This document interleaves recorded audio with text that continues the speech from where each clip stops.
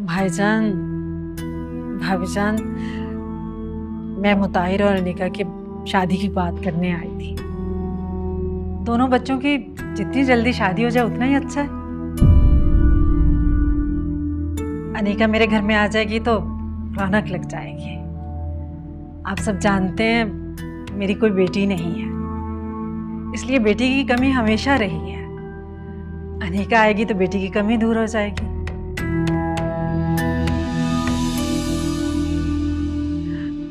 और छोटी भाईजान अनिका को मैं बहू नहीं, बेटी बनाकर रखूँगी।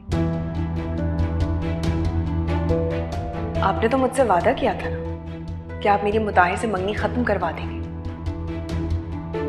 आप ये सामान वापस करेंगे या मैं खुद जाकर देकर आऊँ? साइमा हमें तो कोई एतराज़ नहीं है। सुल्ताना सामने बैठी है अनिका की माँ है इनसे पूछ लो। जो भी ये फैसला करेगी हमें तो मंजूर होगा। क्यों भाभी आपका क्या ख्याल है?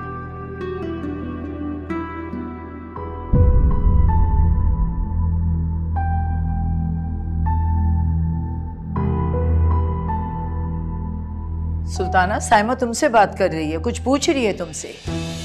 जी भाभी जान क्या कह रहे हैं आप लोग?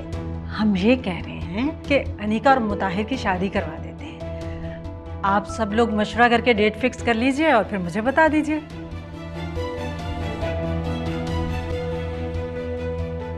क्यों भाईजान? भाई शादी की तारीख तय करना तो आप खवातीन का काम है।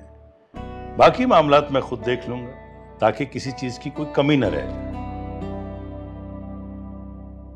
फिर बताओ सुल्ताना क्या तारीख तय करें? भाभी जान भाईजान इतने अचानक से कैसे बताऊँ? अनिका से मशवरा करके ही बता सकती हूँ। भाभीजान अनिका है कहाँ? उसे भी बुला लीजिए। बड़ों के फैसले में बच्चों का होना अच्छी बात है।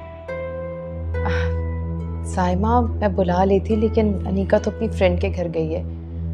बताया ही नहीं आने से पहले। साइमा तुम भी हद करती भाई शादी की तारीख तय करनी थी तो पहले फ़ोन कर देती। पूछ लेती अब देखो ना बच्चे घर पे नहीं। भाईजान मेरा बस चले तो मैं अनिका को अभी अपनी बहू बना कर ले जाऊँ।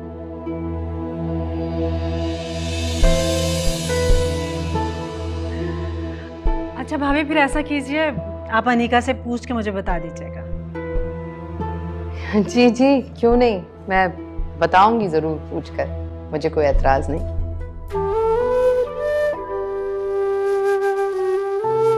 लाओ भाई चाय आ गई।